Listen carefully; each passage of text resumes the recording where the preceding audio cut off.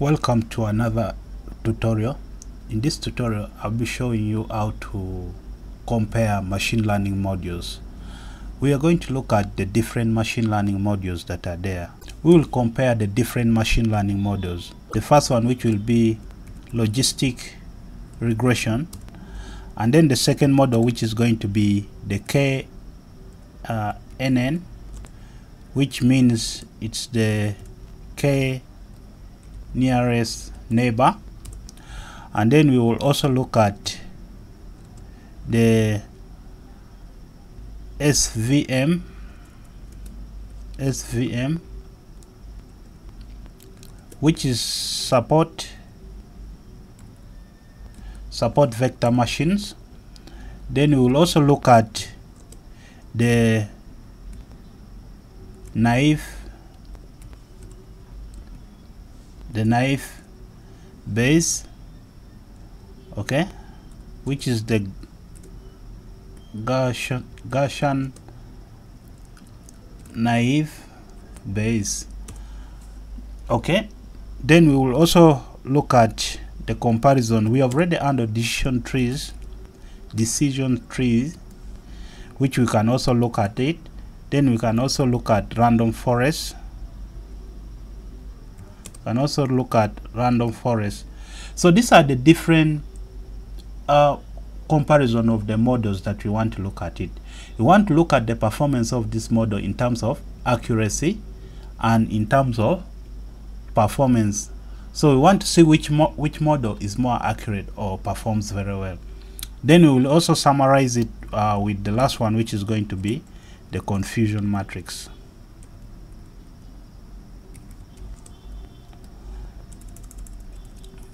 the confusion matrices.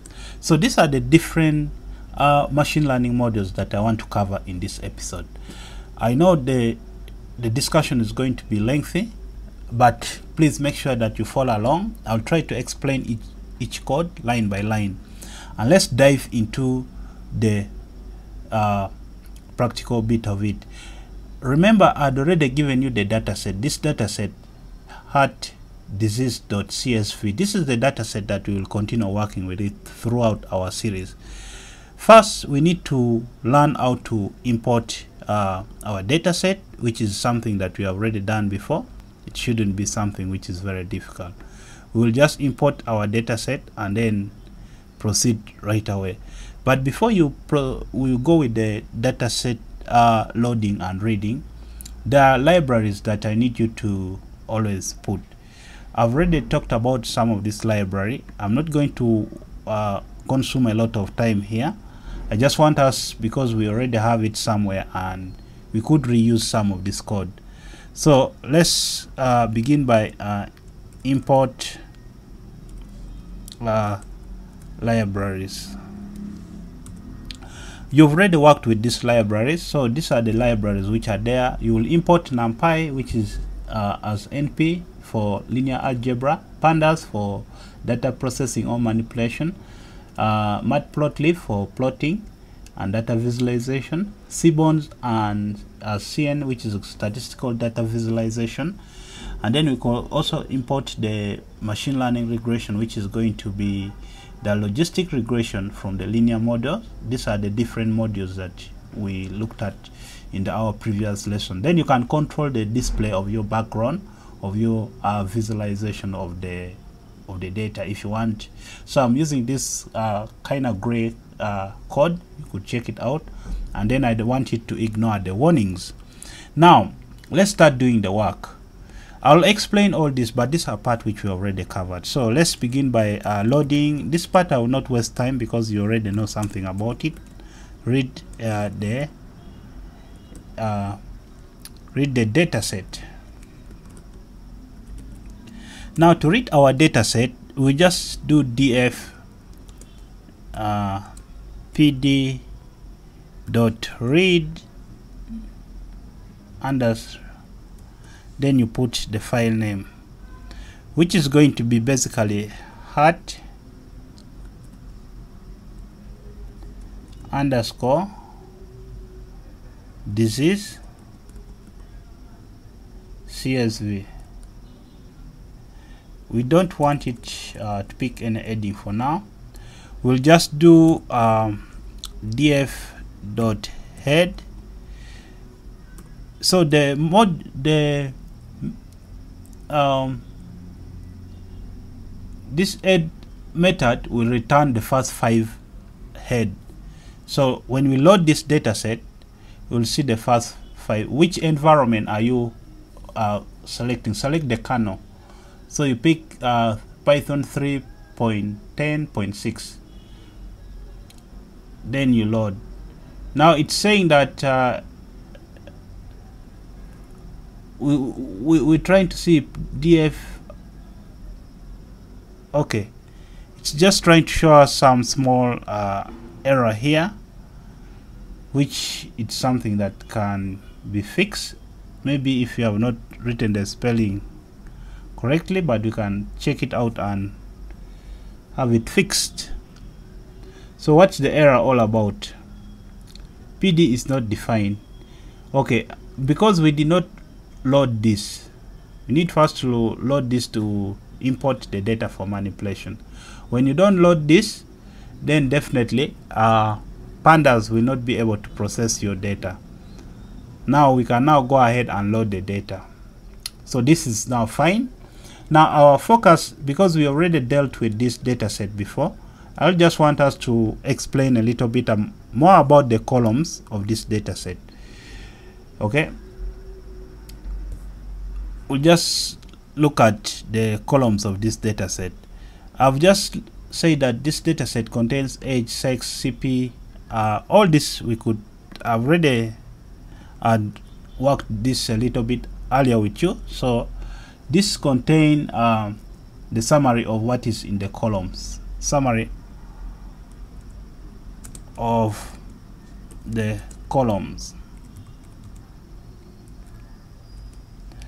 Now we have the CP for chest pain uh, trestbps resting blood pressure and so on up to the target.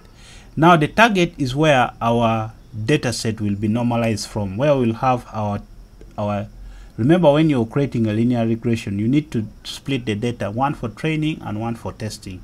So the one for testing is the one which is going to be our target. Then the training is going to take the bigger percentage of the data. Now let's begin with our first uh, part of the module that we want to look at which is going to be logistic what? Regression.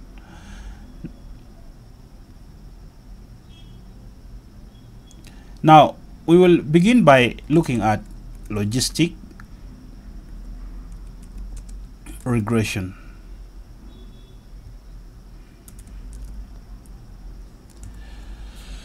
Logistic regression is a statistical method used for binary classification. The goal of the logistic regression is to predict one or two possible outcomes, either 0 or 1, usually represented in terms of 0 and 1. So how can we try to look at those possible outcomes based on one or more input variables? So we want to use all these input variables of age, uh, the one which are, all of them are in terms of the numerical data. Remember I talked about the categorical data, uh, where we have numerical uh, category, uh, cat category and then ordinal data. But the data which we're going to deal with is numerical, which can be used. Now let's try to show maybe to 20 uh, columns here. So to 20 columns, when you look at this data in terms of 0 and 1, you realize that, uh, okay, this part and this, this, these ones, sex, uh, CP, FB, PS, exang, these are the data that can easily be used for what? For our training. And we can use target to be our, our testing uh, data.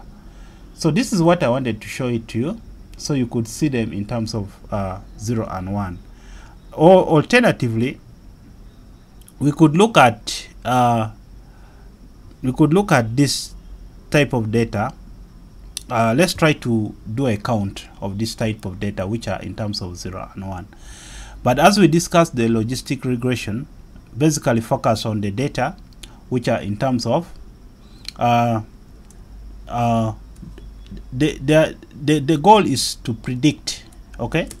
Predict predict uh, one or more possible outcome. So usually represented by 0 or 1 represented as 0 or 1 so this is what we're going to do. First let's do a count of uh, the possible uh, column targets that are there.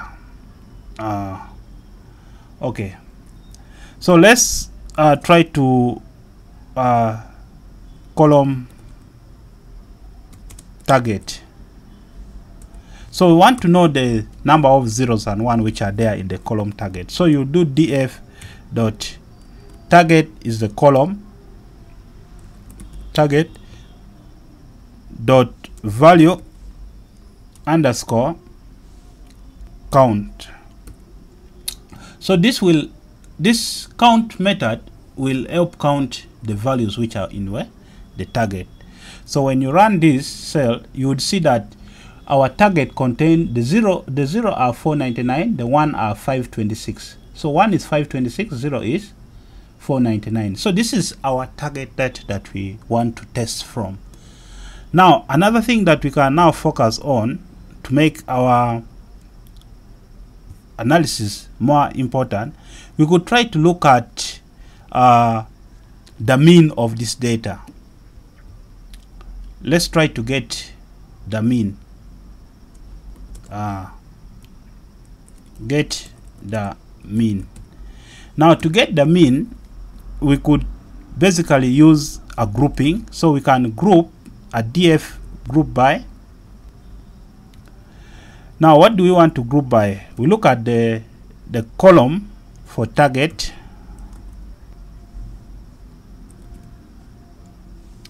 Then we try to get the mean. Now this will only show us the mean of all our columns okay? Then we will look at it in terms of the grouping which is going to be in terms of uh, the columns so you could see these are for all this other data that we are going to use. So we get the mean for I would call it mean for uh, our training training uh, training training data. Okay that is well uh, well represented. Now I want us to move a little bit and then uh, look at one more thing which I feel is going to be important. Uh, I've already tried to uh, look at that focus but we could look at this in terms of maybe let's try to have um, those ones with heart diseases versus uh, we could create a scatter plot which is not basically needed right now but we can just try to do that. So let's uh, create a scatter plot for heart diseases heart disease versus age and and maximum maximum at rate. We could write this by first uh, say PLT which is for for plotting. We've imported that module from the matplotlib then scatter. Now the scatter method we can pass in our parameter x. We haven't defined uh, our parameters. But uh, we would just say x. Then in our data frame x equal to df in our data frame age now what are we looking at from age we're looking at df to target. Now in the target column we want to say target column is equals to equals to 1 we want to see uh, 1 is those with heart diseases. 0 is those without heart diseases. So that's why we'll use that 1 then this one we can we can just proceed and try to make it. Then the y of it will be the one of data frame which is a df uh, we want to look at this other column. Uh, the thalach column. And then we're going to focus on df dot. From our target equals to equals to 1 then we can now focus and look at the color the C which is going to be for color. Now I've already uh, used this color code before. So if you use it you will get something yellow yellowish in color FFD700 that's the color code. And then you can also use another color code uh, which is going to be in the next data. So we can do label.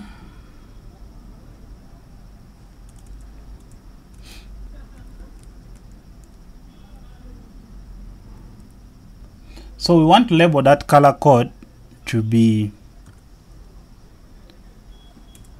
to be with what? Disease. So this basically just shows us that this particular uh, color code contain the disease. Now we can copy this code and we reuse the code but we just change the parameter here.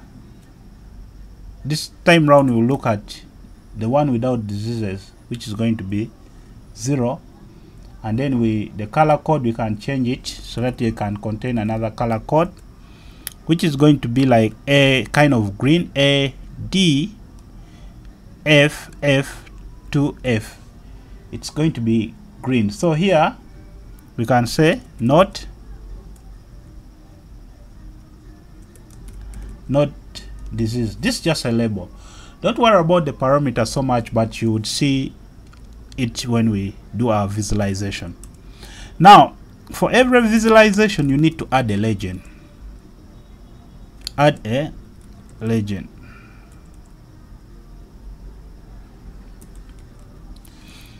Now we do plt legend using the legend. And then which legends are we going to add? Uh, let's add the add labels to the axis. Okay? Now the axis which is going to be basically uh, the x-axis okay? Now with the x-axis we could do plt dot x label then what do we want it to show? We want it just want it to display age in the x-axis and then plt dot y label which we want it to be the y label is going to be maximum heart rate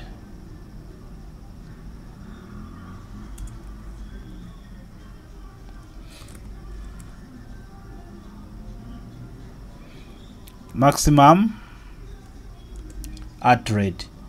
Now remember i also say that it's important to put a title okay? Uh, set the title. Now in the title of the plot we can just say plt dot title now what title do we want? We could just say heart disease versus age. And maximum at rate.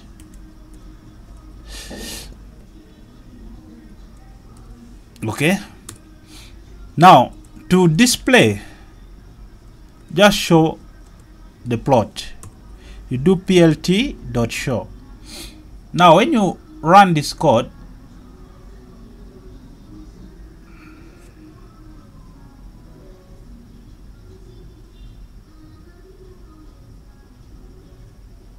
it's saying that the other code is not a valid code. This code here for this code FFD700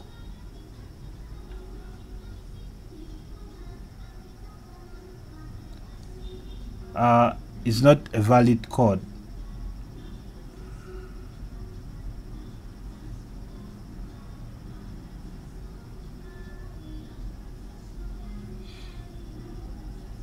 Okay. So it's not a valid code because we did not put the hash. All these codes begin with the hash. When you run you could see the changes.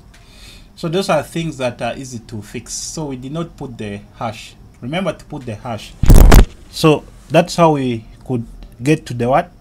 Uh, to this scatter plotter. But you could sometimes try to draw to plot to see the kind of correlation in this scatter plotter but that's not what we are going to do now because our focus today is quite different on this data set. Our focus is basically to to use the machine learning modules that we have talked about.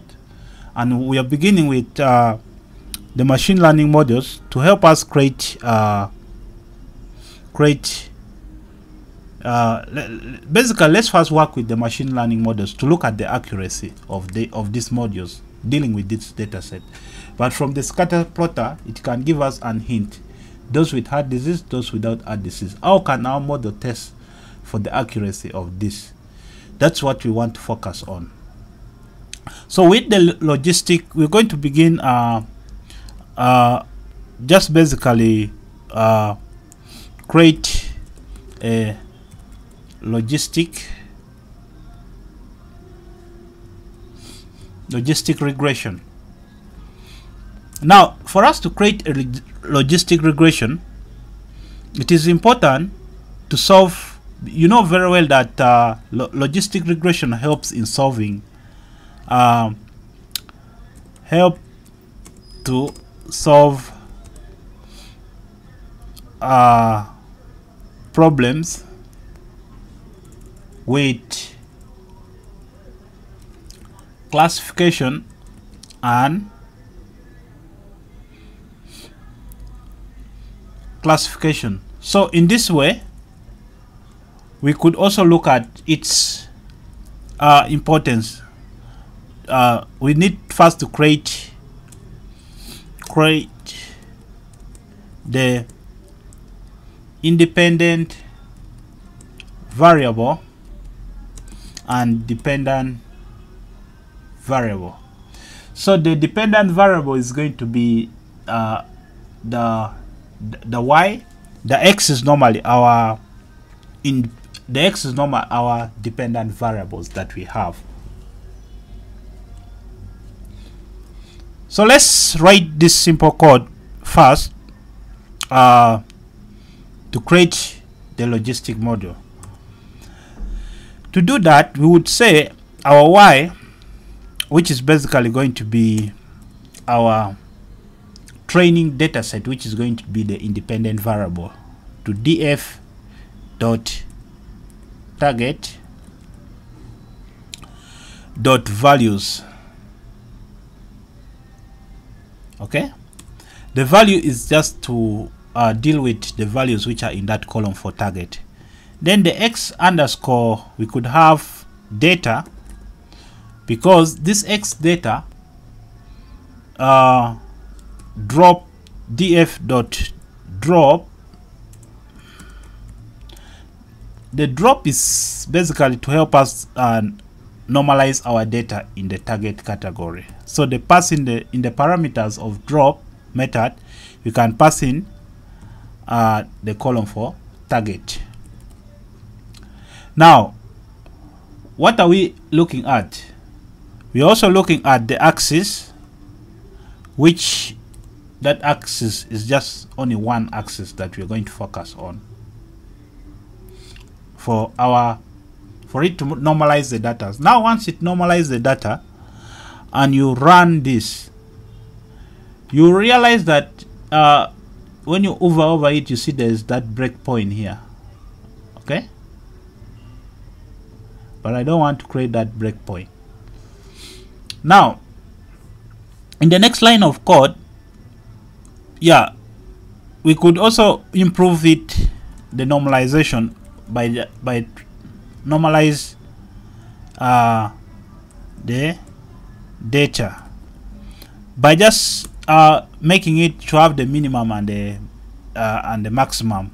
So which we could do x to be uh, literally you won't see the changes right now but I'll show you how the changes can be which could be x equals to our passing the parameter in the x data minus np dot min which is for the minimum value into our x data. Then we're going to divide this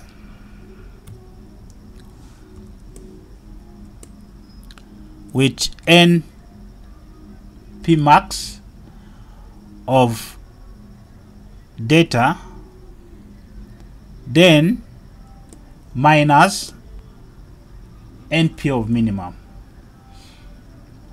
Now when we run this you won't see the change but it is going to help us when dealing with our data. Now the first step that I talked about uh, is when you're creating any data you need to reserve some bit of the data for training and some bit of the data for testing. Um, now the bigger percentage of the data will be for training and then the smaller percentage of data will be for testing. We can split the data. Of course we have covered this somewhere split the data. 80 uh, 80 percent for training and 20 percent for testing. Now what you're going to do is first before even you start splitting the data you need first to store the different variables of your data. Now to store the different variables of your data. You need to focus on one thing. Let's try to deal with it in this approach. We are just going to store the data. We know x train. X train is for our is going to be for our training. Then the x test then x train x test uh, y train y test and now our y test all these variables to be equivalent to train test split which is one of the modules we import imported for splitting the data into training and testing. Now in the train test module we're just going to pass in the parameter for x and y. Now the x and y would get the test size of our data which is going to be uh, 0.2 according to the data that we because the 20% you need to convert it which is going to be 0.2 then you do the random the random state to zero now the importance of the random state is for reproducibility of our modules that we need to use. Now when you run this uh, you realize one thing that when we say train test split we've opened and we have not closed it. Okay there's just this one. We open it twice so that could solve fix that problem. Run. No error still.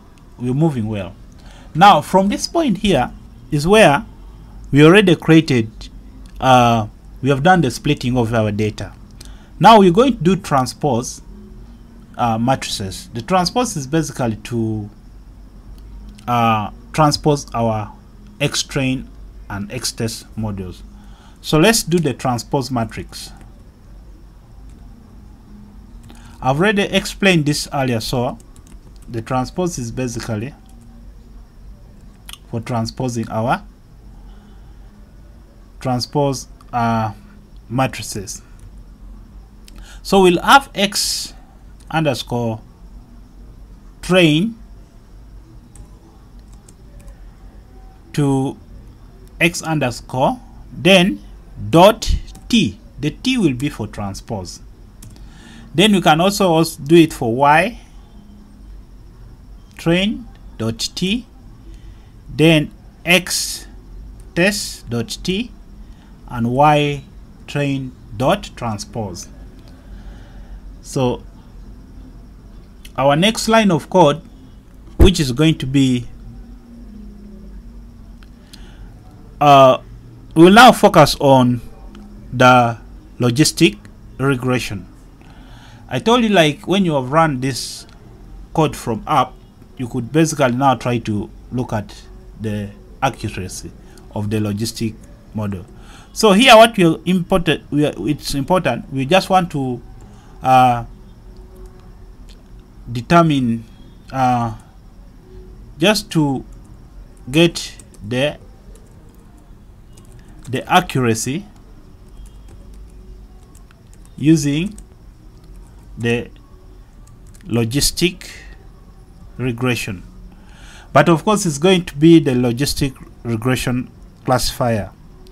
But let's first do it with the lo logistic regression which is going to basically give us the accuracy the test accuracy. Here uh, get the accuracy using the logistic regression. Get getting the test accuracy now for us to get the test accuracy it's it's a very simple thing that we need to uh, keep following in our in our code. In order not to mess up in anything that we'll be doing okay? So let's let's try to implement that with the test accuracy. So for log logistic we will say accuracy the variable accuracy. The variable accuracy will pass it to an empty dictionary. Now the empty dictionary will help us to get the x train and then y train and test. So let's do the lr lr variable here will be for our logistic regression equals to logistic regression. When you do a method of logistic regression from what we imported, this logistic regression will just get the class for all the logistic regressions. And then we will also do the LR for logistic regression. But each and every time you do the logistic regression, you need to fit your model. Because there's also overfitting when the model doesn't what? Perform uh, it performs poorly. So we can now get here the x uh, train. Can get the x train and the y train.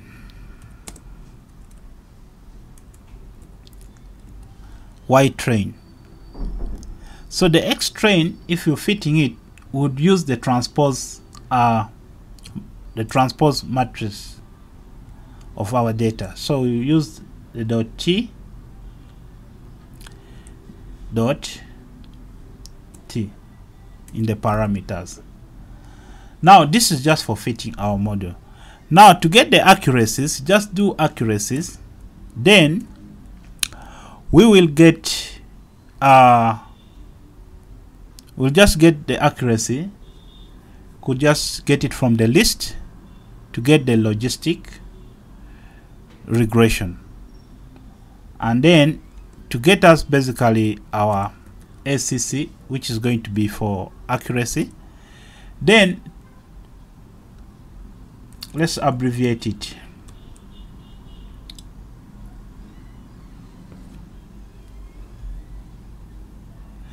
okay now we abbreviated it here but we'll we'll, we'll try to define that. Uh, it's defined but we try to reuse it somewhere. Okay? So let's see how we can implement that. So we want it to when we do a print output to two to two floating points we should be able to get the accuracy score. Okay? Now let's try to get the output um, get output. To output anything in python you can use the print method uh, the print method which you can pass in the variable. Okay here basically we want the text. Uh, when you put it in quotes we will get the test accuracy to give us the accuracy. But uh, what we need to do when you have the test accuracy because we want the test accuracy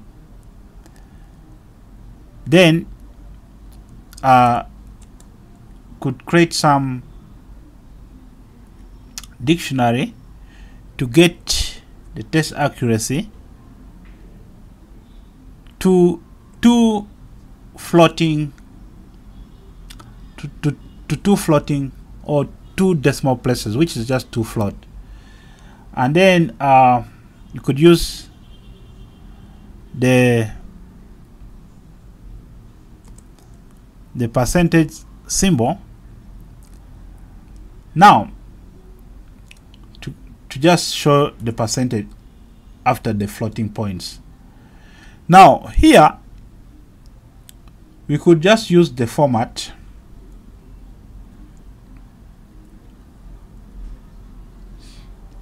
could use uh,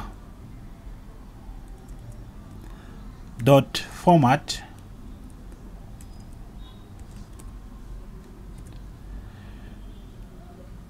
To just get the accuracy which is complaining which is not defined. And yeah we close the bracket. And we close again. Now we still have that problem of accuracy not defined.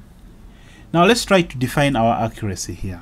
Our accuracy could be get us this time round the logistic regression score. Now the logistic regression score is going to be of our y test. This is where the actual calculation takes place. So the y test dot the one of the dot transpose. Then uh, the y test. Then y. No the y test dot t transpose. Then the y. In this parameter it's going to be y underscore test dot transpose. Now we will multiply it times 100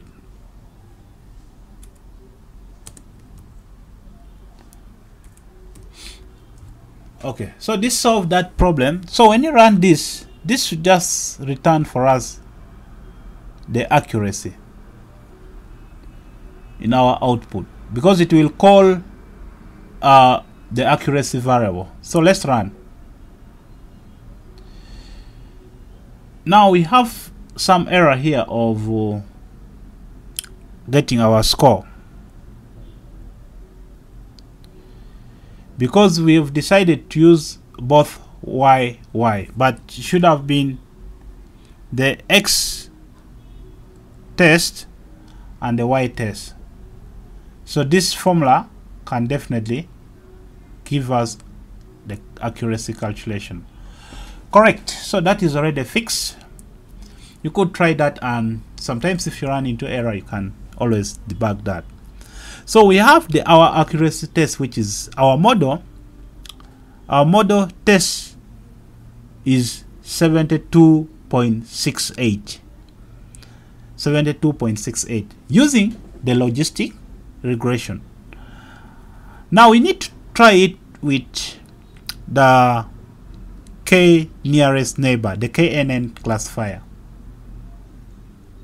So let me try to show you how you can try it with the knn so this second uh, part we will try to we try to basically uh, first we need to check if we have uh, Now you realize here we do not have the module for we do not have the module for uh, the k neighbors classifier. So it's important we import them. Okay, the library for k neighbor. So first import the k nearest neighbor KNN classifiers. Okay? To get uh, basically to get uh, accuracy. Accuracy. Score of the k nearest neighbor. Algorithm.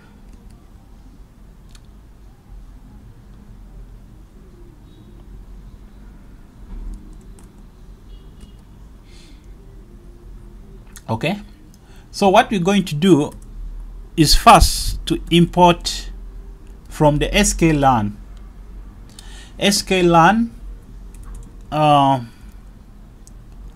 then dot neighbor.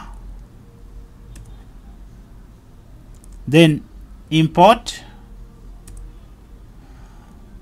k k neighbors. Yeah k neighbor classifier that is the model that you need. Then from there we can create a variable for knn to then we get the KNN classifier uh, class. Then we will also need to do the fitting. Knn dot fit like we did with the the logistic regression. Don't forget to pass in the variable. For x train because we first train the data x train dot t and y train because we're basically doing the training so it's going to be y y train dot transpose now we need to create our variables to do the calculation. That means it's going to do a prediction prediction dot knn uh, it's going to be knn predict. In the predict we shall pass in only the test dot transpose. Now to get the output display get output display. We could basically do a print which is a normal thing. Then inside the print we pass in the parameter. Let's say we have a parameter for a empty. Then you can do nn which is just nearest neighbor score. Remember this is not yet the maximum score. We just first want to get the nearest neighbor score. Then we could inside the dictionary we could just do it to two uh, floating points. Just do 2f and then we put the percentage symbol because we want it to show it in percentage. Then we do uh, we do a dot and we format. Format then to knn dot score and then the score method can take in the parameter for x test transpose and y test dot transpose. Now what we could do here is basically since we have done the format uh, we could we could try to get the calculations times a hundred. Okay. Now when you try to run this print uh, we get print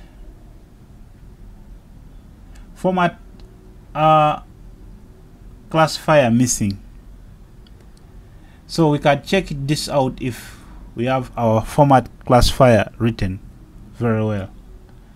This doesn't make any change but uh, we could just check here and see. Um, 12 uh, dot format to knn uh, score uh, x test y test to that. Okay. Looks like uh, the format classifier is not there. So how, how, how can you fix that? We just need to go to our knn and then pass in the classifier which is going to be n neighbor uh, 2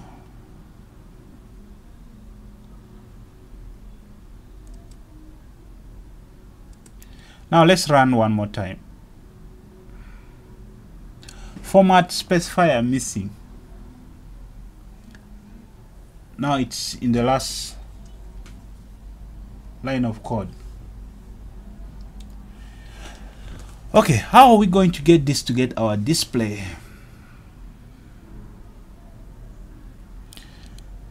Because we wanted it this basically to get us to the n neighbor means for for k. Okay uh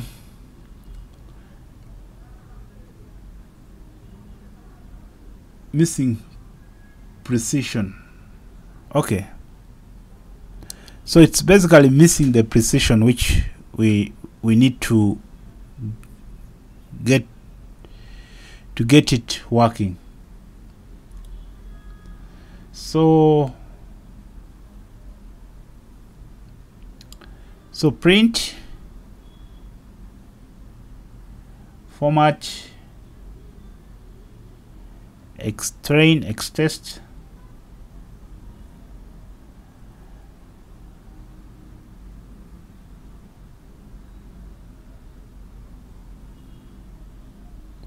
okay. How are we going to get this solved? Briefly. Uh,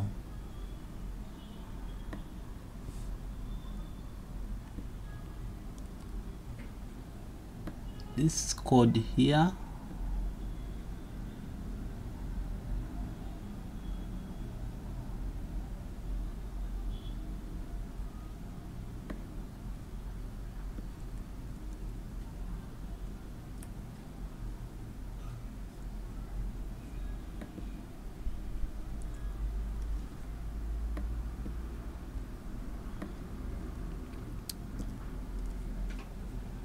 missing precision. So let's see how we can rewrite this.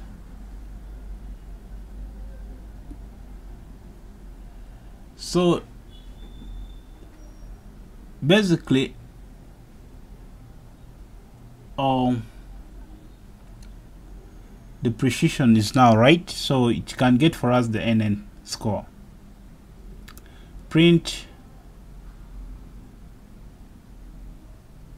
so it's it's just print n score. So it gives us the accuracy of the score of which you could say uh, that is not yet the maximum score. Let's try to get the maximum knn score.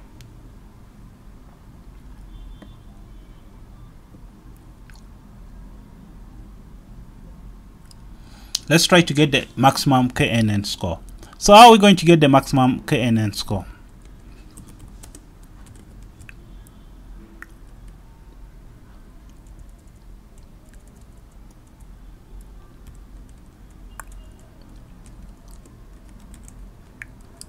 So we want to get the maximum KN score for the module. So we will do score remember to always um, write your code using the snake case. So score underscore list then an empty list there then for i in range what's going to be the length the range? It's going to be 1 to 20 then we will get the knn of because let's because we already have the knn can make this to be 2 knn then uh,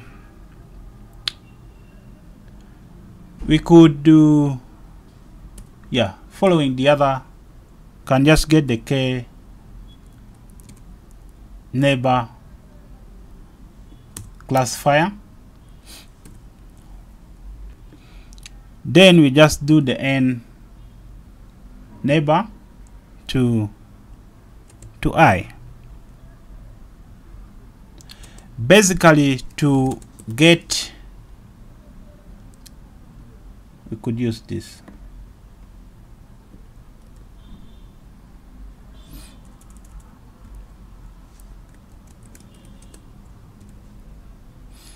Get the n means okay then we could do the knn2 then we try to fit the model which we can use this which is going to be x train x test basically.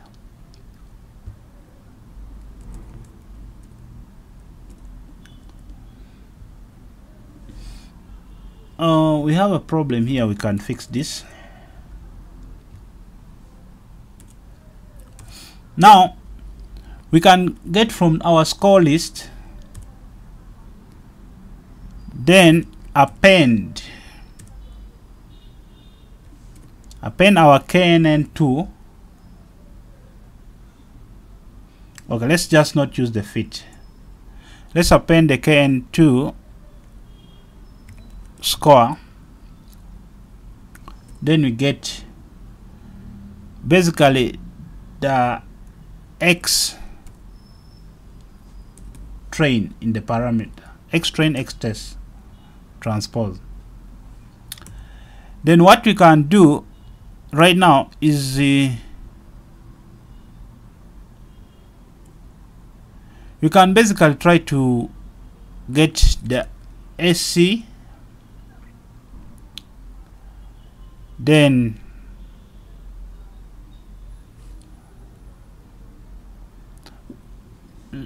we could even plot. Let's plot the plot line.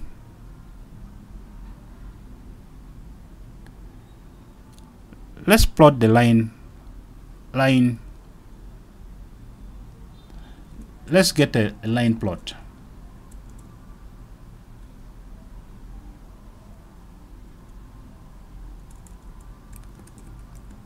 show using line plot.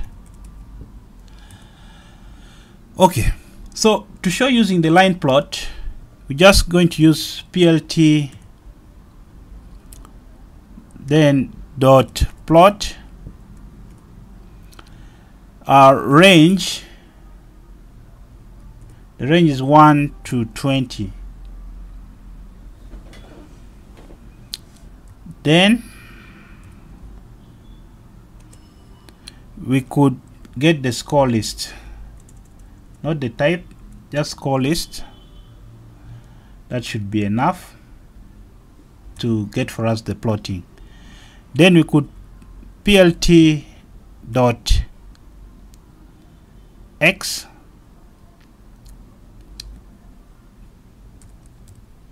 Ticks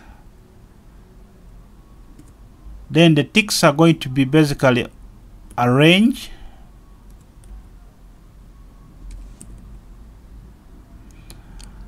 Arrange into one two one.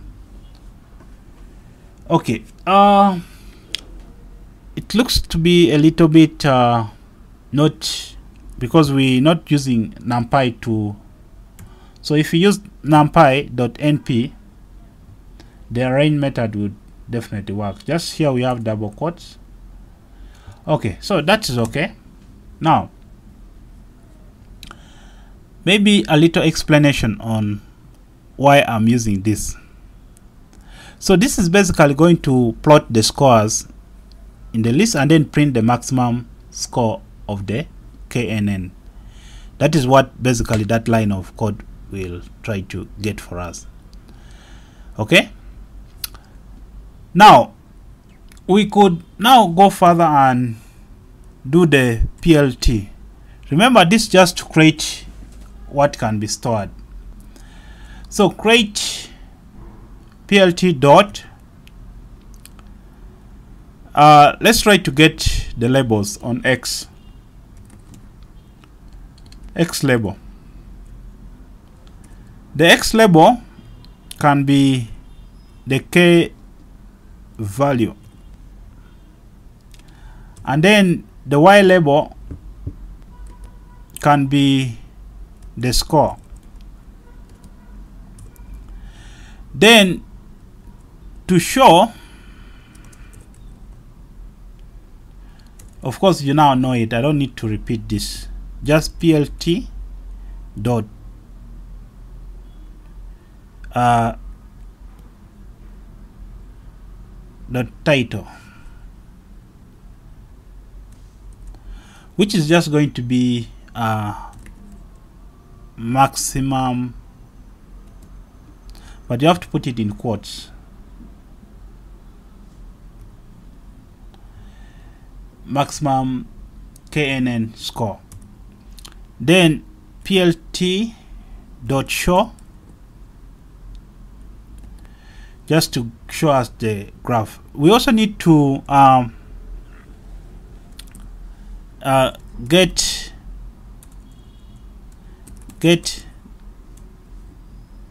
get maximum KNN score in percentage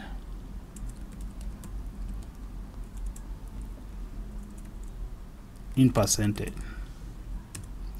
Now what we just do to get the accuracy accuracy equals to max then score list.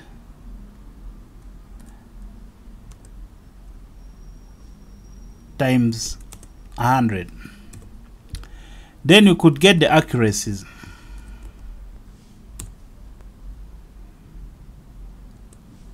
so the accuracies can be knn in the list to ACK then let's get the print. The print for output which is going to be maximum KNN score is then we create a dictionary to get to 2f then format to ACK okay. So that is it. When you run this line of code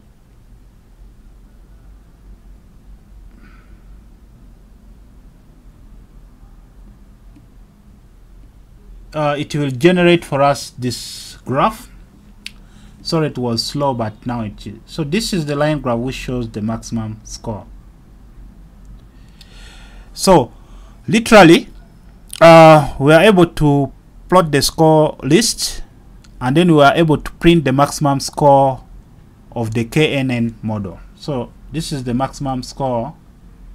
It is the title. What did I write maximum maximum maximum KNN score maximum KNN score. Model so that is the maximum KNN score model now these were the k values and we were able to get this. So the maximum KNN score value is 100 we didn't put it in percentage so we could just fix the percentage symbol here to show us the maximum score in percentage. So now the maximum score to 2DEF is 100, which is a good thing, shows that KNN is performing better than the logistic regression, which you see, when you try to get the KNN without getting the maximum score, it was 95.12. Now, the logistic regression is 72.68. So the KNN model is performing very well in this case. Now let's move to the next model. Now in the next model, we'll try to use the SVM. Okay. Now for the SVM, which is the support vector machine, we'll also try to see if we have the SVM. Now this time round we are going to get accuracy We are going to get uh, test accuracy uh, using the support using the support vector machine SVM algorithm. Now what we're going to do, we need first to import the module for SVM from sklearn. sklearn dot for SVM you just write SVM import import SVC which is support vector classifier. Now the SVM variable will store SVM will store the SV of a random state to allow reproducibility. We talked about it, so it should be is a thing now. Then could just try to make it always some space there. Then you can also get the SVM to fit. Always have to fit the model to x underscore train no test. No it's train x underscore train dot transpose t then y to train then oops. Then we can also uh, get the accuracy to get the calculation of the SVM which is just going to be SVM support vector machine dot score x train um, times 100 then the accuracy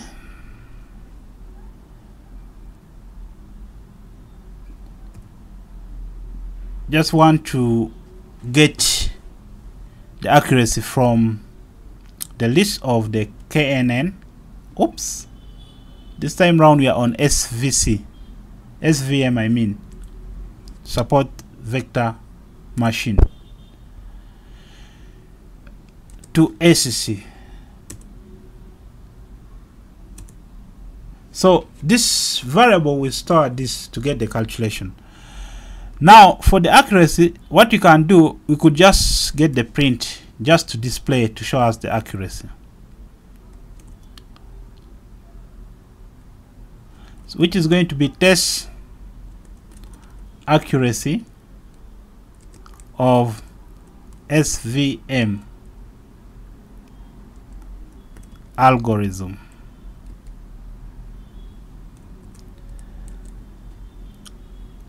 dictionary then to two floating points percentage. Then we can format and close the bracket. Okay let's run. So we have the test accuracy of oops. You have the test accuracy of the hour of the SVM which is the support vector machine which is funny that here it's performing at what? At 70.24 always uh, the support vector machine algorithm does not always perform very well let me maybe run it one more time and see if it will this time change the performance. The performance doesn't change. Okay. Now, we can now go ahead and look at the naive Bayes algorithm. So we get accuracy using the naive Bayes algorithm. So how can we do that? So we need first to import the, the module from sklearn dot dot naive Bayes then import the the Gaussian naive Bayes. so that is the model that you need so when you use nb to represent nb just be the variable to represent naive Bayes. to store to store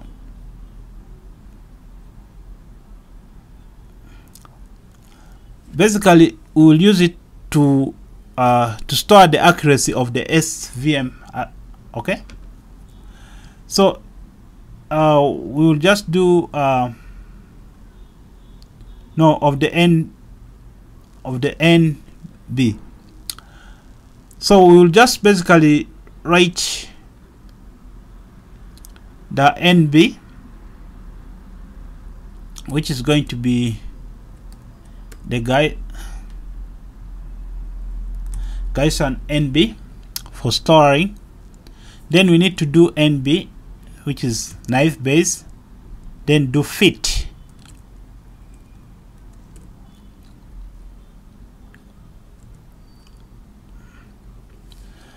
so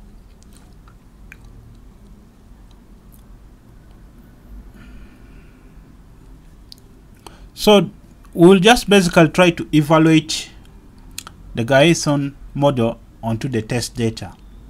But let's first do the X train.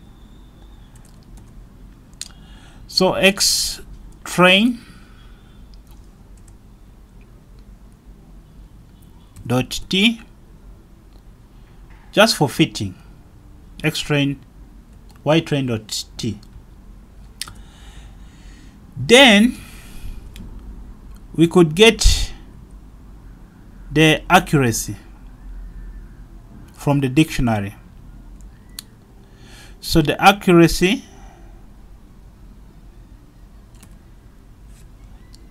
uh, which is basically going to be nb dot score. Now in the nb dot score we basically going to do the testing.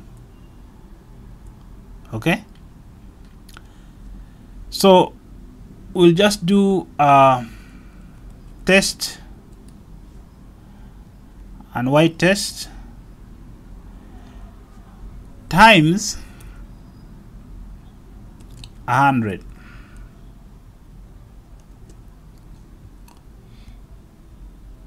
then we could get the accuracies of which these accuracies just towards the Gaussian naive model uh, model dictionary.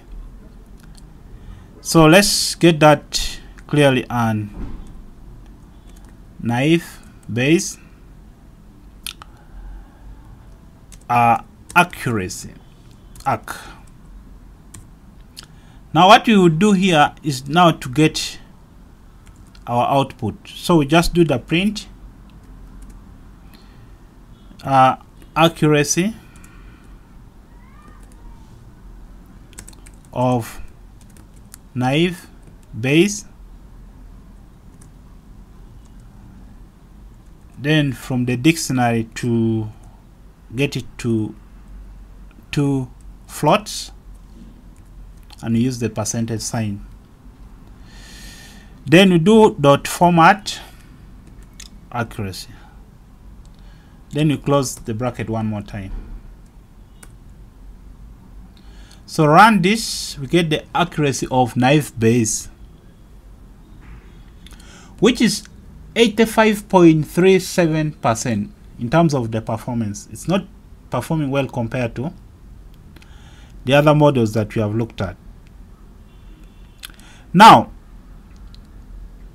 we could also go and look at uh, the model using the de decision trees. Let's look at the model using what? get accuracy using decision tree. Decision tree module. To get the accuracy of course with the decision tree if you do not have the sklearn for decision tree you need to get. But you use the decision tree what? Classifier. So if you do this you would get it wrong. Just sklearn decision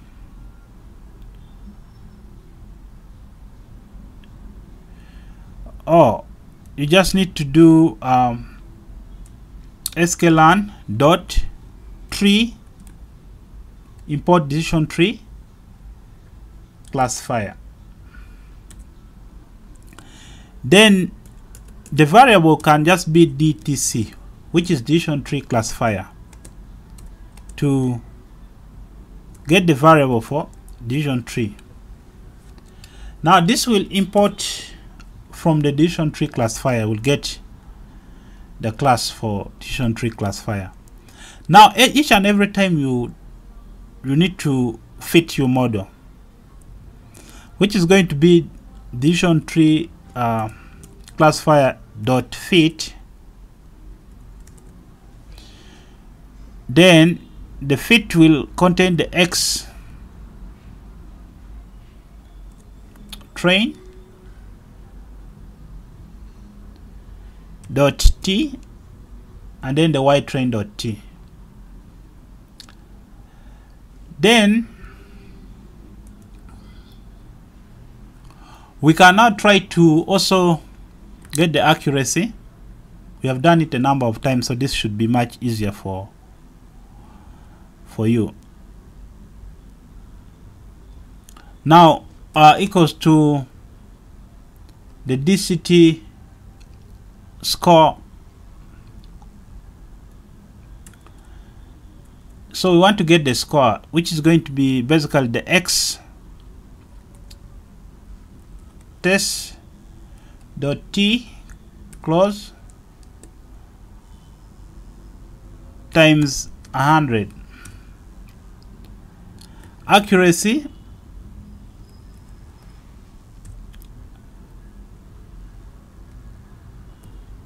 then just basically say decision tree.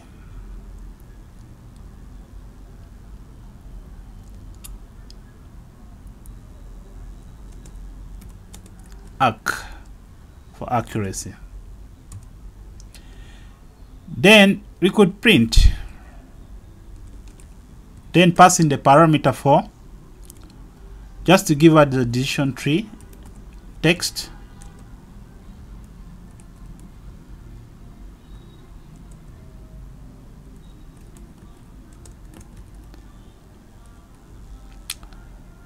Then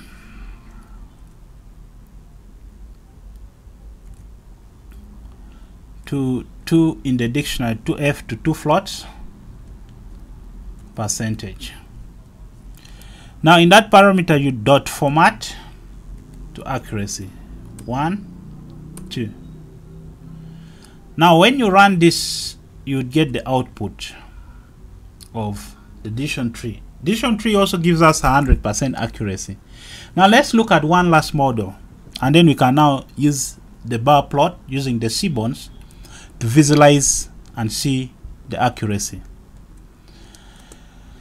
Now we could also do that using uh, random uh, get accuracy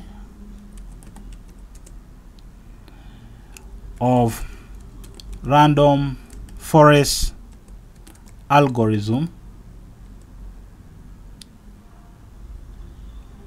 Random forest classifier.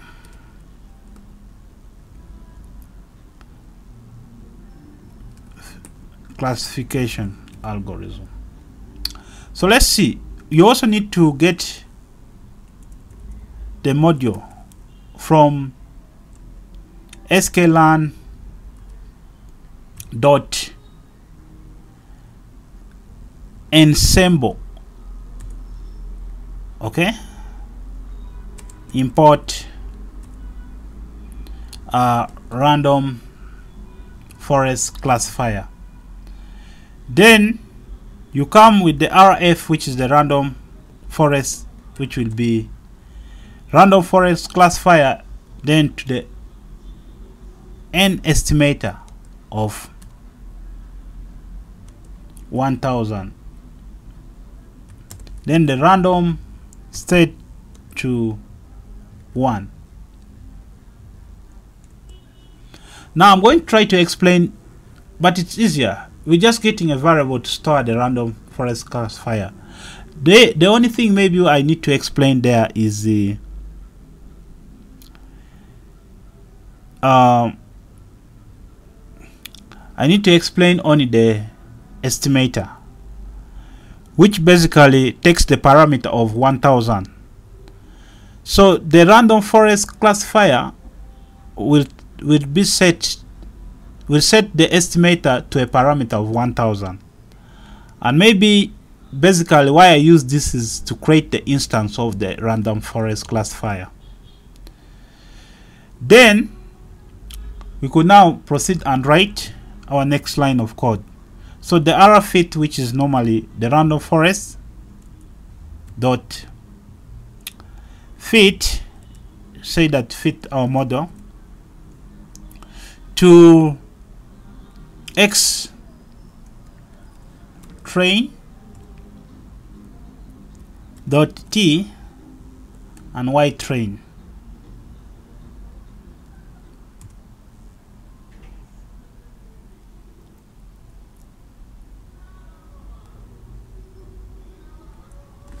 So the arc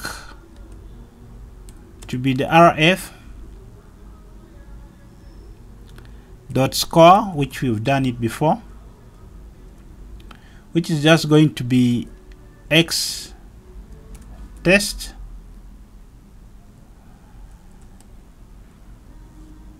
times 100 now the accuracy we have done this before.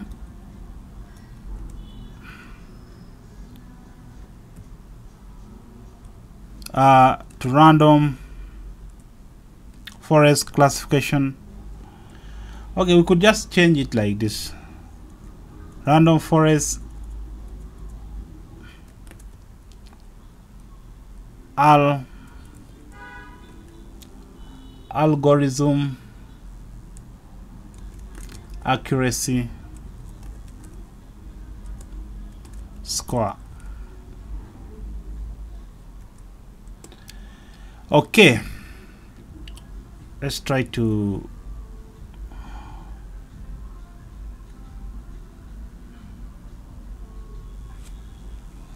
I think uh, just made it in the wrong way. It's just supposed to be random forest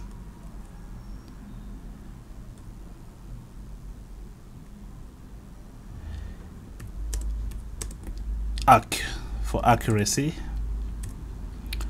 Then we can now uh, get our print.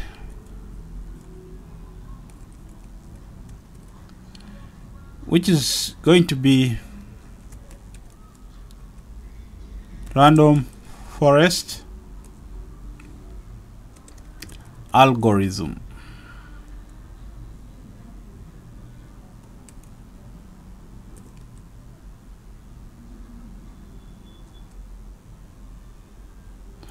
random forest algorithm accuracy score. So uh, put it before. Okay. Mm. 2 dot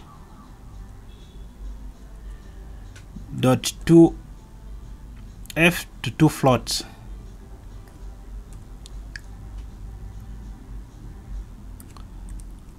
so dot format arc okay let's run this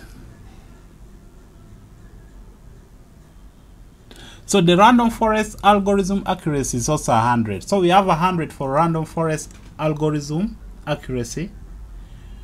We have uh, so we've been using uh, this basically to help us get the accuracies.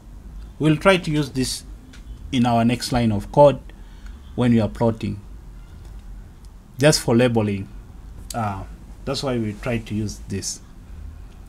Okay let's now try to visualize our graph. So the random forest is 100 decision tree is 100 it is the Gaussian naive Bayes which is 85.37 the support vector is 70.24 KNN is 100 and then and then the yeah we'll try to use the, that to get the accuracy of these modules. So let's see what we can do uh, with our next line of code here so we are bas basically going to what? Uh, compare the models accuracies.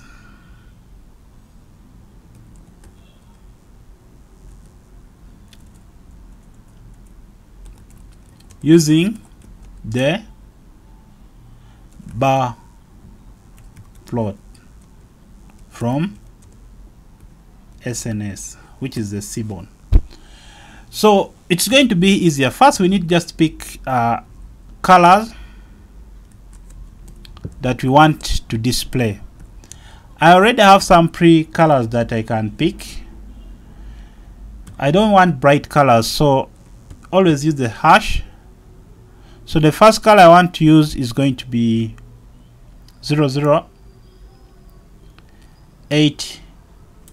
8 8 BB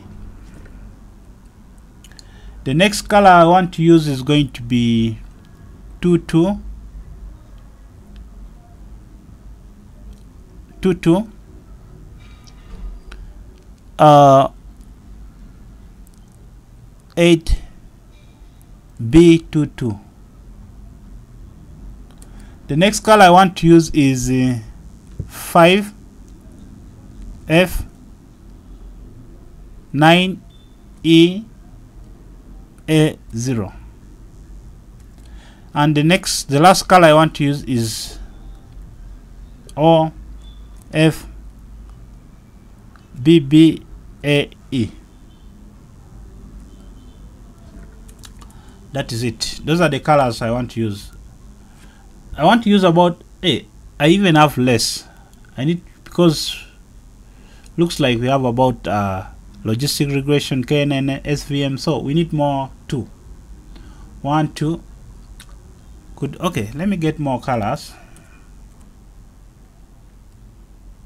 So the next color can be we have the 8 we have the 8 to okay let's get another color the D. AA 520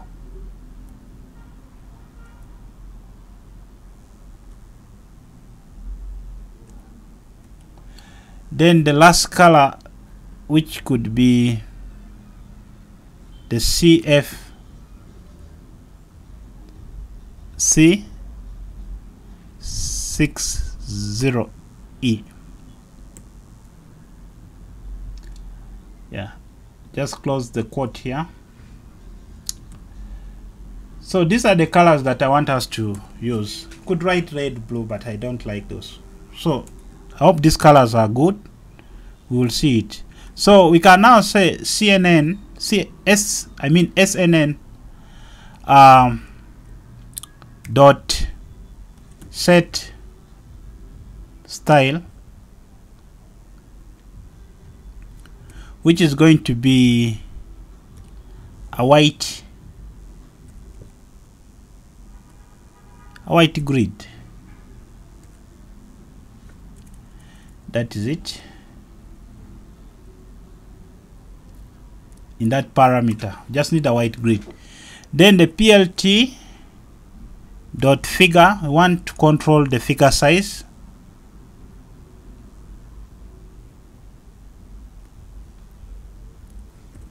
then we pass in the parameter for figure size.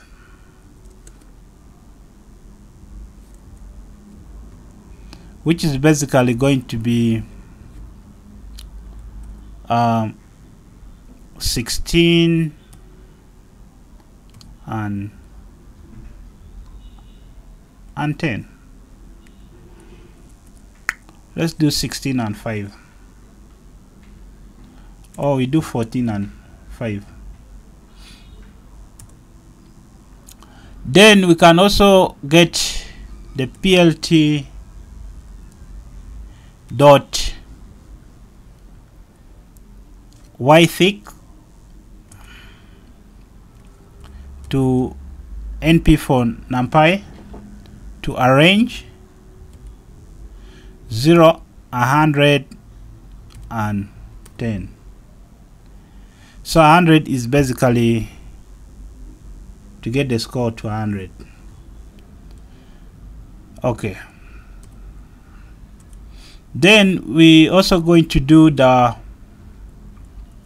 the plt for plotting dot the label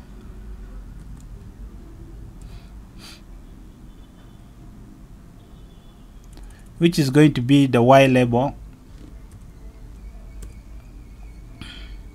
it's just going to be accuracy. Accuracy in percentage. Then we're also going to get the plt dot x label which is going to be the algorithm ml algorithm lm model al.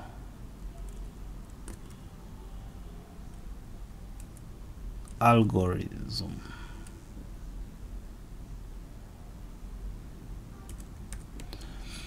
Okay we miss one which is the plt dot title. To give us the title which is just basically compare this could even be our title.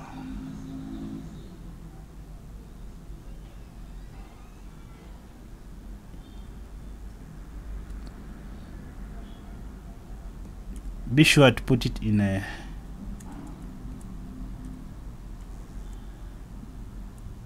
okay. Then the sns dot bar plot x. We pass in the parameter for plotting the bar plot. N. List. Accuracy which is supposed to get for us all the accuracy. Dot. Key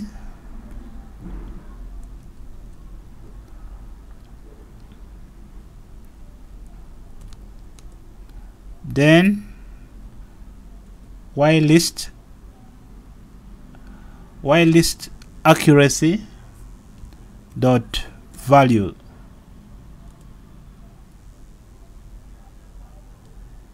Then plate for color to colors.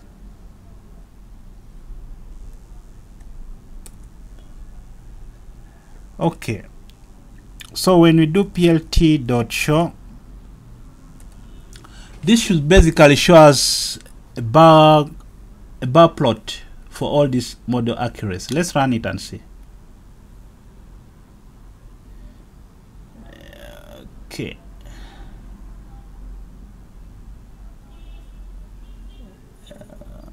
Okay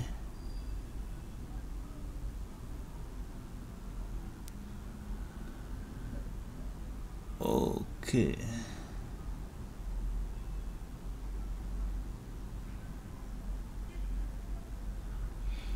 Okay we have one invalid color that we have. This first color here is invalid. So it's going to be supposed to be like 5 so the B's are 3 this fix this problem so let's run it.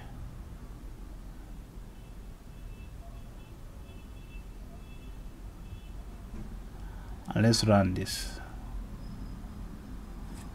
Okay cool. This has successfully uh, worked out our modules.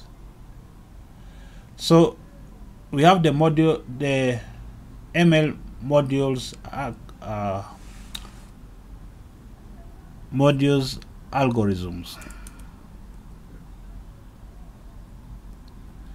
So the mn modules algorithm. So we have the performance. So you could see this performance in terms of percentages that we plotted so according to this you realize that uh, knn decision tree and random forest performs better than the svm naive bayes and the logistic regression. So if you're going to pick any model that you are going to use for training your data you would rather go with the knn uh, decision tree and then random forest. But the support vector machine kind kind of tried to be an old outdated i think most people don't like using this module when dealing with their machine learning uh, in most cases so you can see which model works best for you but you can try to compare all the three models so this is how this model works uh, with the data set that we have trained it on now, the last part of our training is, is on the confusion matrix. Let me handle it so that I can have it all done. So with the confusion matrix, we just want to see the performance of these modules basing on uh, basing on heat maps. So we're basically not going to look at it a lot, but uh, we're just going to see uh, the performance of the model basically just using the confusion matrices for to look at all this performance of all these modules the logistic regressions all these other modules so let's let's write that code to get all these modules for the confusion matrix of course, I've not explained the confusion matrix to you, but uh, briefly what the confusion matrix does, I know you could just go and read more about it to help enlighten you. Me, basically, I just wanted to do this practically with you. But uh, just for you to know, uh, ML confusion matrix. So it's basically just a table that evaluates this basically just uh, evaluates uh, evaluate the performances the performance of a classification of a classification model So uh, basically about the confusion mat matrix, just to let you understand more. The confusion matrix is just to view the model prediction by comparing the predicted class to the actual class in the test data set. The confusion matrix is actually useful, especially if you look at the imbalanced data sets where you want to, where one class may dominate the other class. So you will end up getting the true positive, uh, the true positive. So to save a little bit of time, uh, the confusion matrix tends to handle this.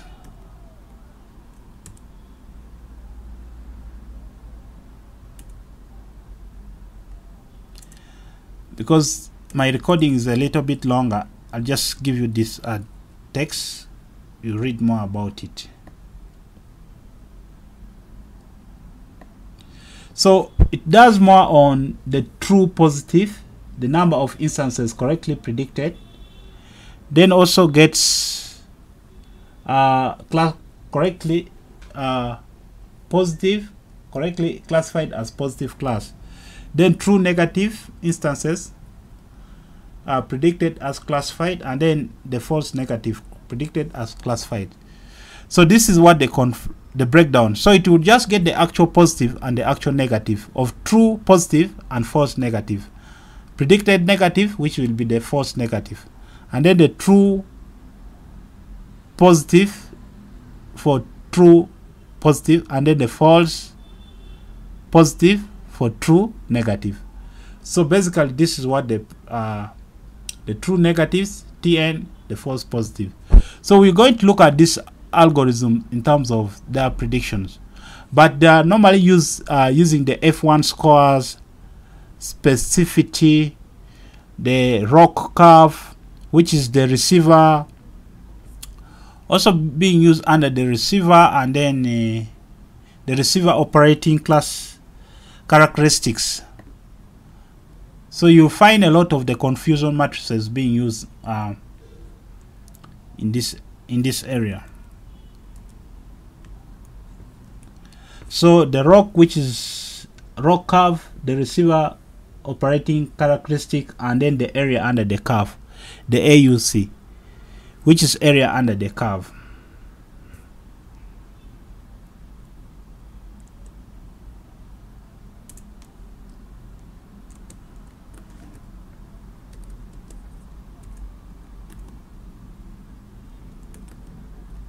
So it's area under the curve. That's the AUC. But let's just try to look at the confusion uh, matrices. In this particular case, because the confusion matrices just allows us to understand how well the model is performing and identify specific areas of improve, improvement, especially when it comes to dealing with imbalanced data sets or when different types of errors have different costs or consequences. Those are the areas where we apply confusion matrix in. So let's look at this confusion matrix uh, with our M name with our ml okay so um, mm, get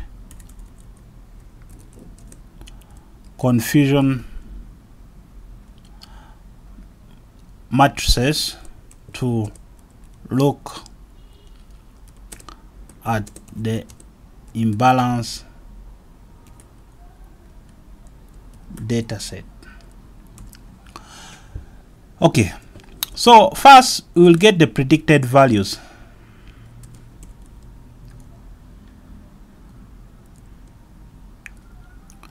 The predicted values now our predicted values are the y the y head for LR which is going to be logistic regression going to be LR dot predicted predict uh, what are we predicting? We're predicting in the y test. Y test dot transform. Then pretty much we're also going to look at the knn 3 now because we have used the variable for knn2 which is also going to be for k k nearest classifier or n for getting the n neighbor means to let's say 3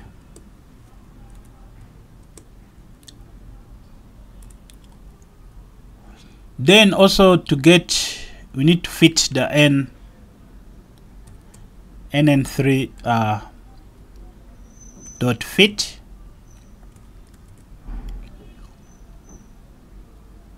Then you can pass in the parameter for x train it's train um, then y y train? Dot t.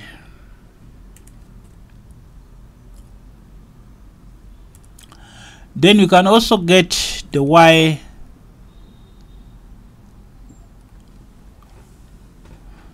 so we'll do this for all the other all the algorithms that we have used. Y train head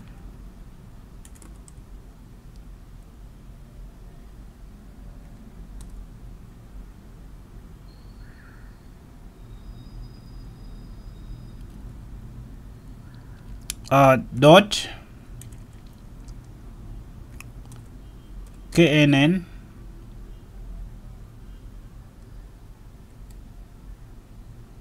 so it be knn uh, 3 uh, predict.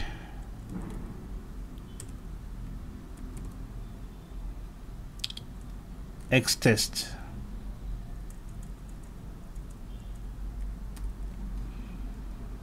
Then you can also do the y head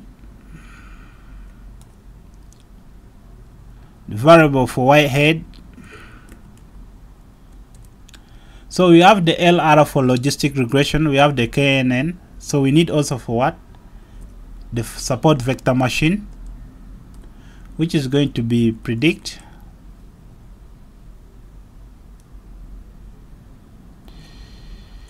It's just going to be svm dot predict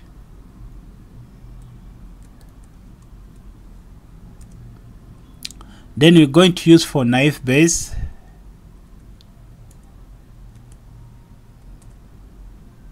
Head underscore nb nb shit nb equals 2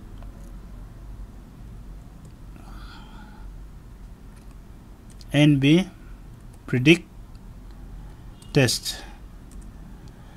Then uh, we're also going to do the y for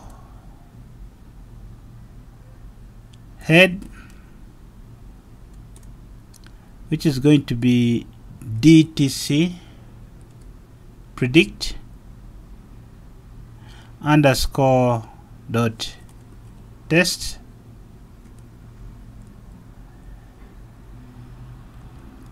for decision tree classifier then we can also have a variable for head underscore random forest. Okay. Now that we have the predicted values here for KNN, SVM, NB, the LR so we can now go ahead and make our make our confusion matrix. So we can now uh, import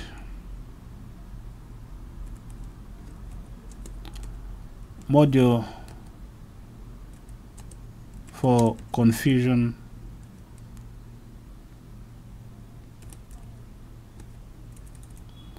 confusion matrix. So which is going to be from from sklearn sklearn dot matrices. Import confusion import confusion matrix. Then you can say confusion matrix for logistic regression to be confusion matrix which is going to be y train. Oops supposed to be y y test. And y head. Logistic regression. So we'll do it for all others. So confusion matrix for KNN which is going to be confusion matrix for y test add knn then we use confusion matrix for for svm then svm then confusion matrix for naive Bayes y test naive Bayes then confusion matrix for decision tree classifier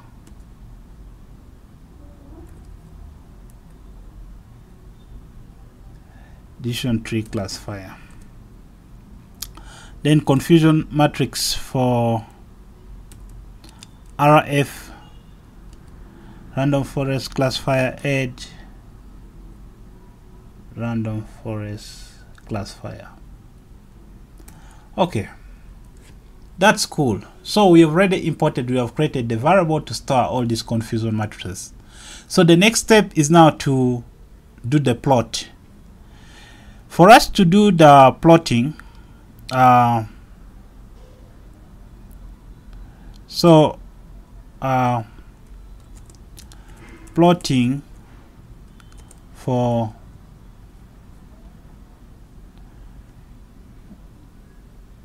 so plotting for uh,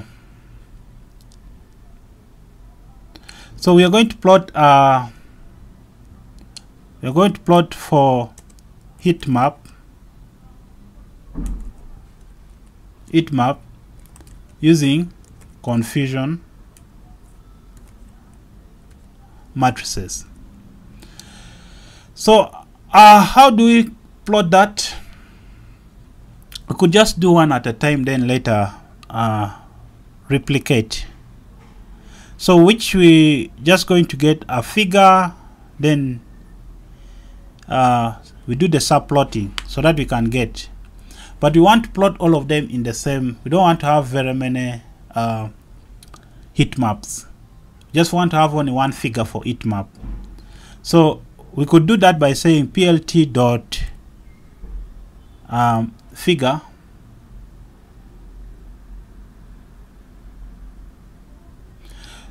Then we will pass in the the figure size fig size take 24 and 12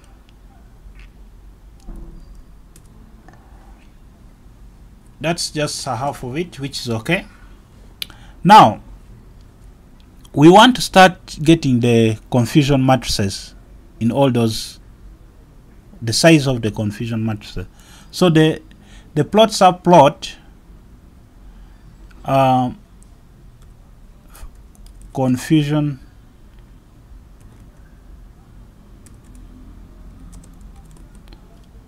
Matrix.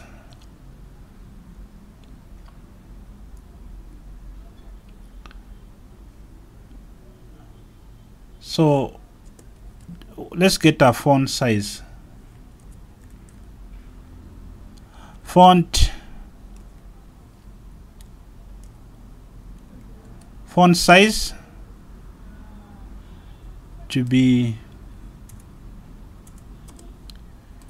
to be 24 then uh, for the subplot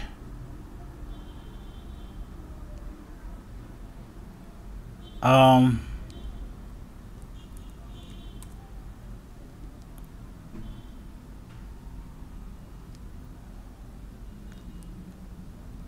this is going to be uh, for super super title which is just going to have that word confusion matric matrices.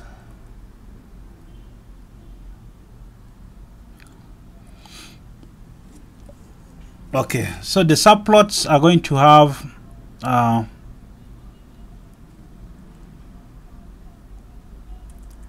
then just to adjust by itself to fit other heat maps. So the, we just pass in adjust for the uh, white space to be uh, 0 0.4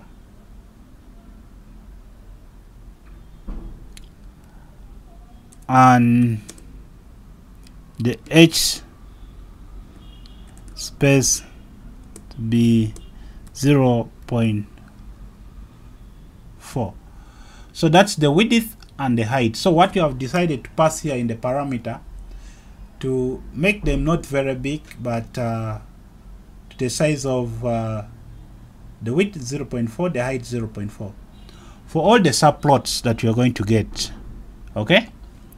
Now we can now start plotting. Once we get one we can just replicate the code and then uh, just change a few things especially for the titles.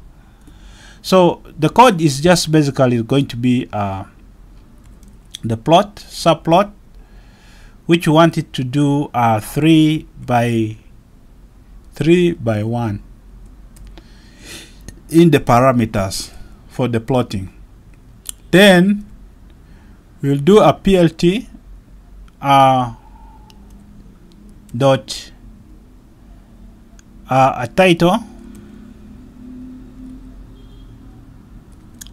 Now this title can be for log logistic logistic regression confusion matrix. And we could get a font size for it. Probably a 12 i don't know 12 may be big but 8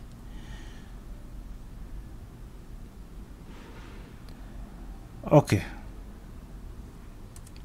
We'll try to work with this font size based on our output. If that is big let me first do like 5 it might be very big now then we just get the sns dot uh, subplot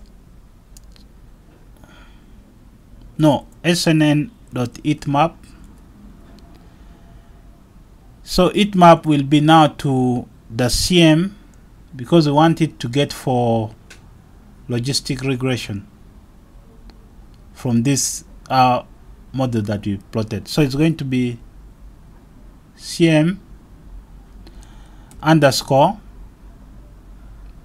uh, lr which is on that variable. Then uh, annotate to to true. Then uh, annotate to true then the CMAP the CMAP color to the CMAP color to let's pick colors. We've used colors before here.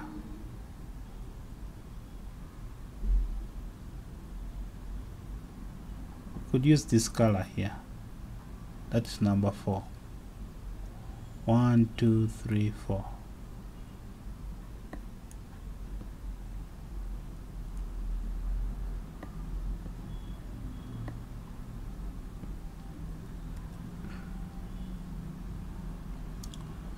So the CMAP color can be that. Then we could use the FMT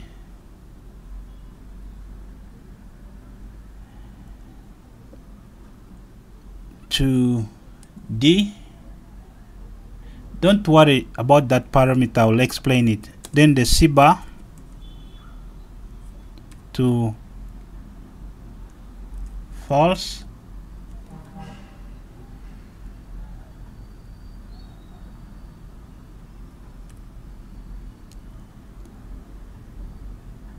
then annotate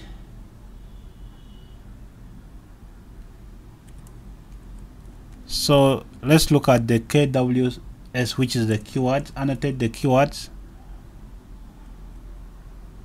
equals to let's do a dictionary here to get the size.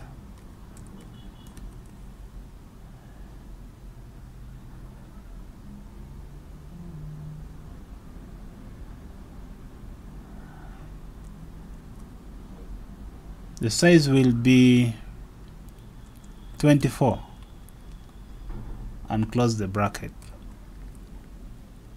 The spelling of false.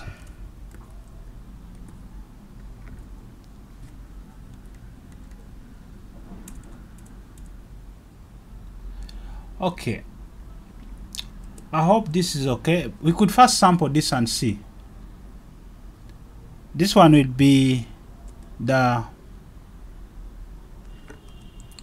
this one is going to be the confusion matrix uh,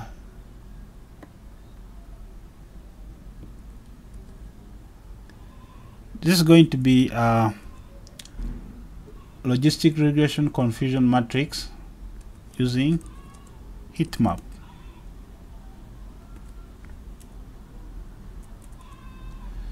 Yeah. So let's run this if it works. So the CMLR is not defined.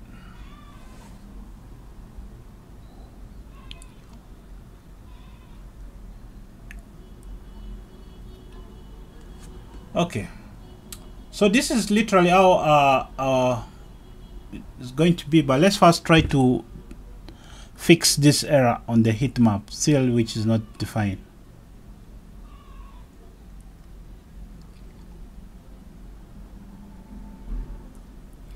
But we have defined it here. Maybe you just need to run everything again.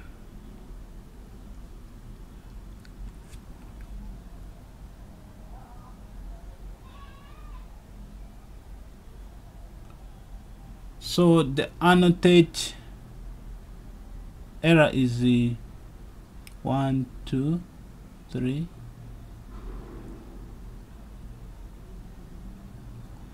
Okay.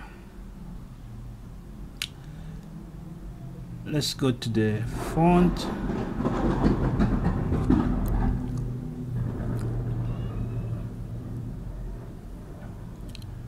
Okay so the CMAP uh,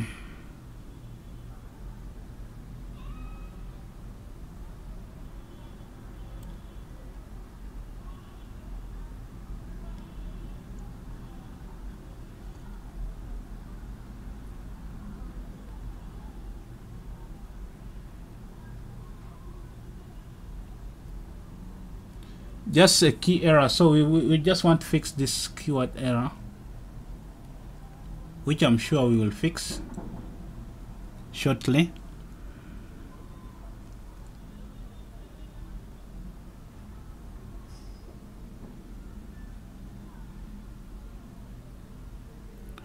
Okay.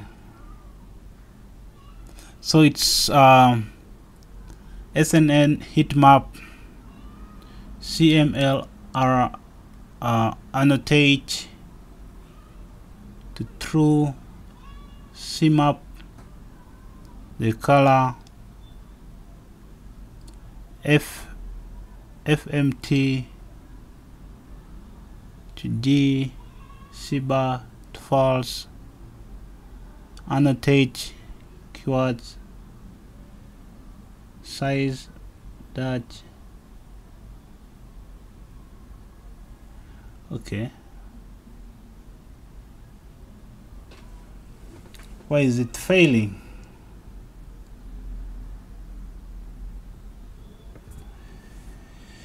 Oh it's not something difficult but we we're gonna fix that.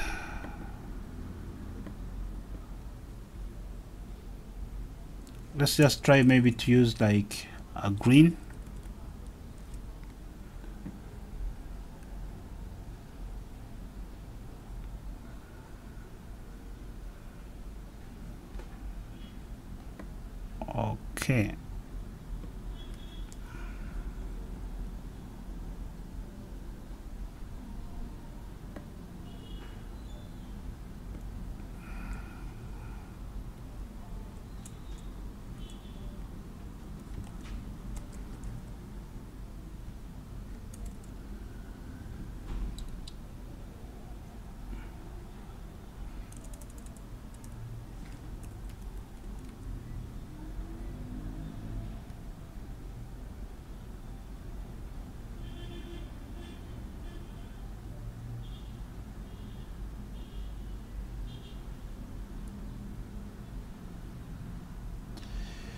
okay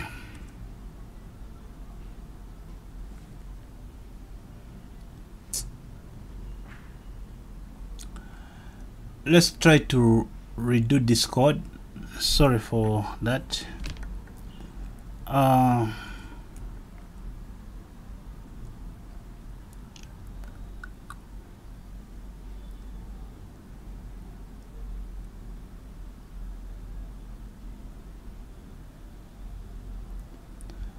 okay. Let's I'm just going to repeat everything. This is so annoying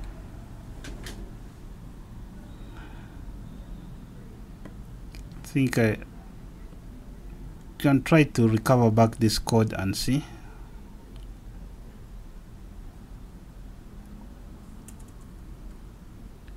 Could I recover back this code and see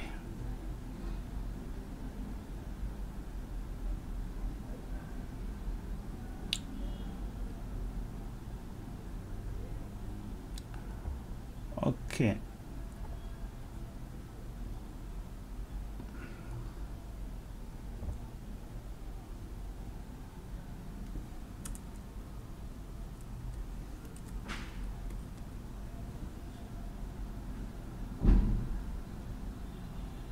oh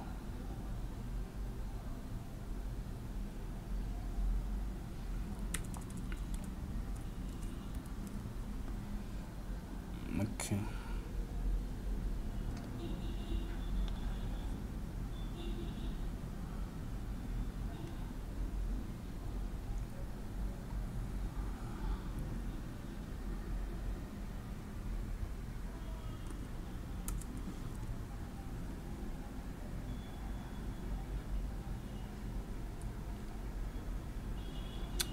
okay so let's try to but this is the code uh, for uh, plot confusion.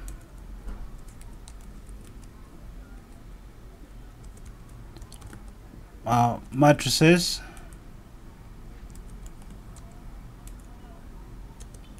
Using C using heat map. So we have it for uh, this is going to be heat map for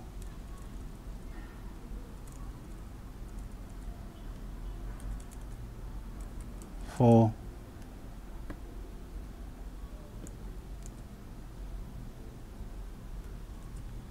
heat map for logistic regression. Now we could duplicate this code then then just keep changing. Okay?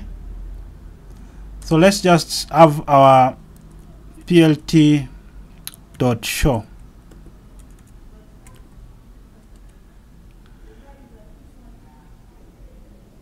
Okay so we can now duplicate this code and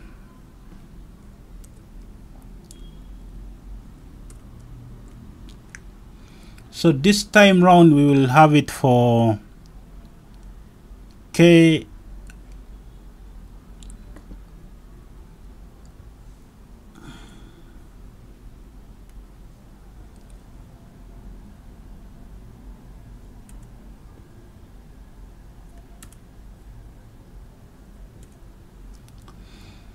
okay we will have it for k. For k. Nearest neighbor.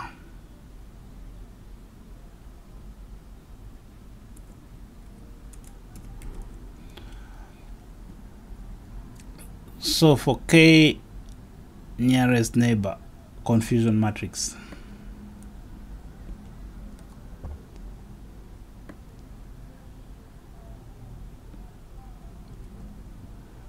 So k nearest neighbor is knn so we have to change this to knn on uh, when you run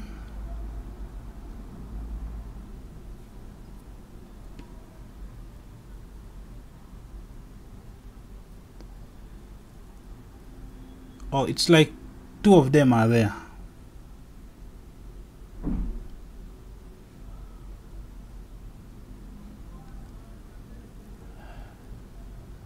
Okay.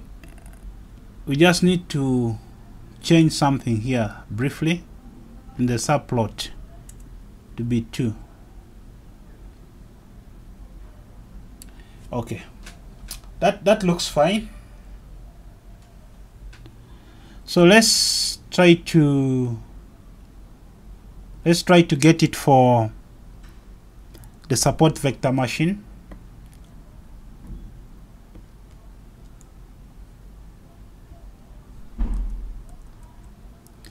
So for support vector machine confusion matrix.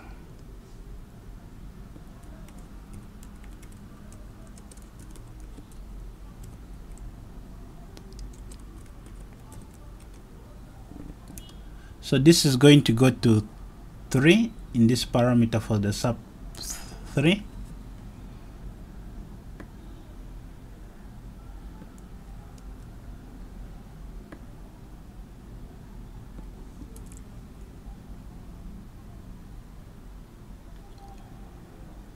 Okay.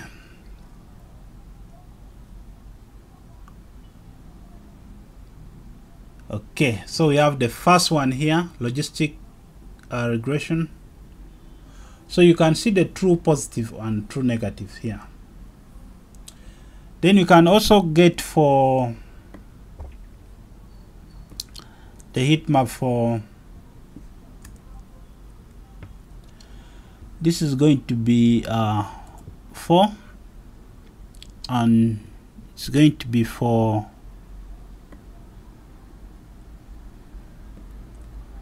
naive.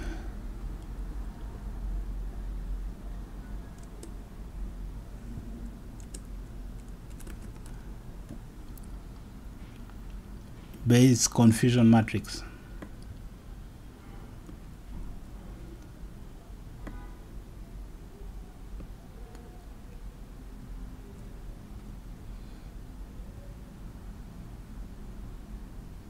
So you have the naive Bayes confusion matrix. Then you can also get for the fifth one, which is the decision tree.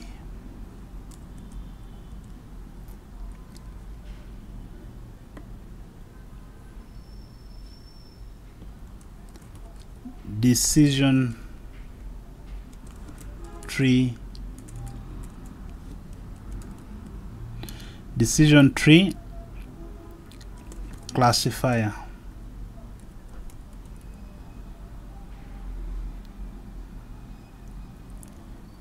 So it's going to be 5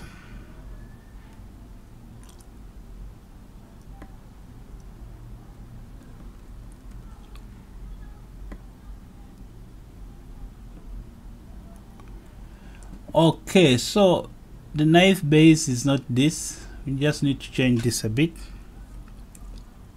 It's NB uh, then the decision tree is the DTC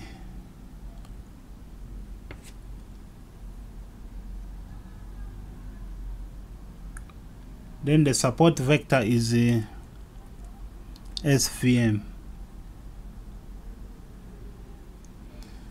okay then the last one is going to be we could check this out.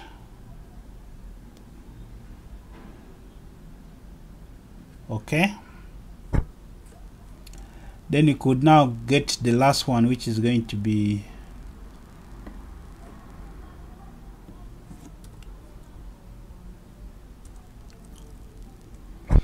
so the last one is going to be uh,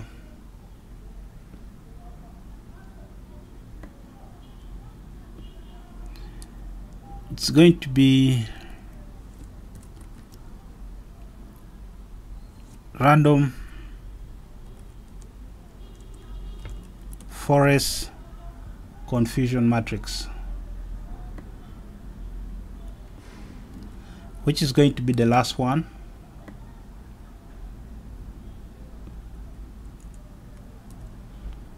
And it's going to be 6 and it's going to be RF okay.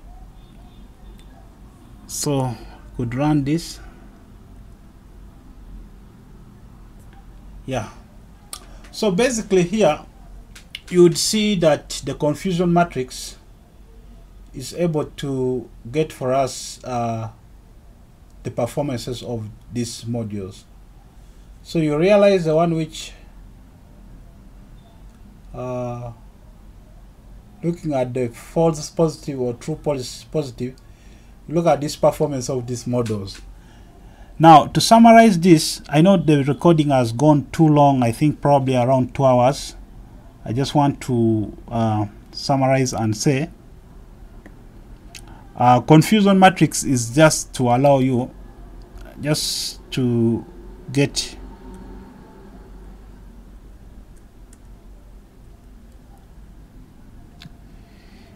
I'm just going to use this uh, multi-line comment. I'm not going to type this now. Let me just give it to you here. Okay.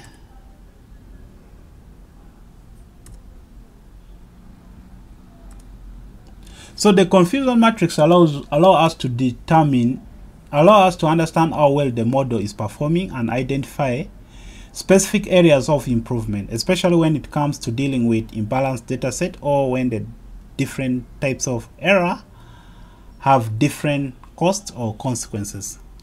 So this is going to be our last video or training on the machine model. If you watch this video up to this point, please click on the like. If you have anything that you feel you have not understood, please uh, comment down in the comment section. I'll try to if anything that you have not understood in the comments please just leave a comment. I'll try to respond to all your comments in the chat.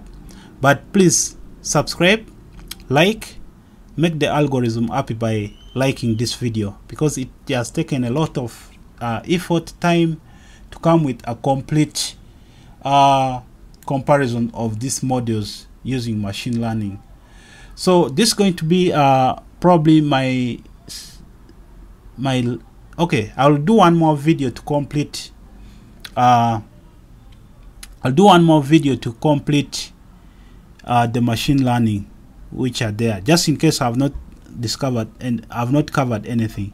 But i'll try to do one more video maybe to uh patch up maybe the bootstrap aggregations cross validations and then the the the the probably those are the only ones that are the great search on those uh, modules.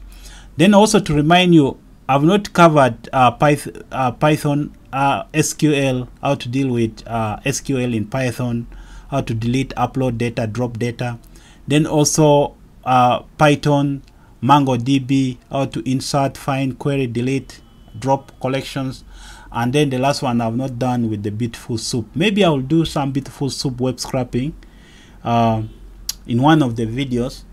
But this I know this is the long video but please like subscribe. If you have any comment finish this and then send me your work. And try to create uh, a final list for all your work in a folder for morning and afternoon.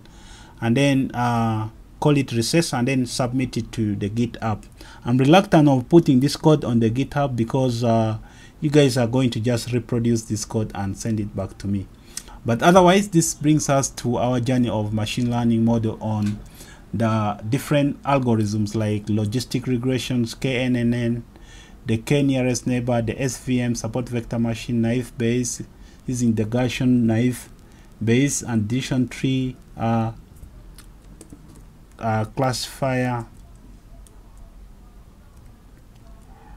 and random forest classifier okay and then the confusion matrix so this is it all uh, thank you for watching this video i hope if this video has helped you like, share.